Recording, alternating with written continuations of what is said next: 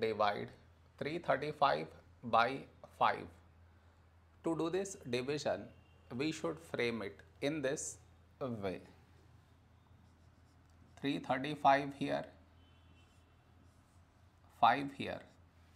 This is your step 1. Next. Here we have 3, here 5. 3 smaller than 5. So we should take two numbers 33. A number close to 33 in 5 table is 5, 6, 30. Now we should subtract, we get 3. After this, bring down the beside number, so 5 down, so 35. When do we get 35? In 5 table, 5 sevens, 35.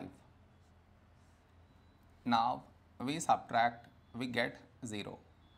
After this, no more numbers to bring it down and we got remainder 0. So this is our quotient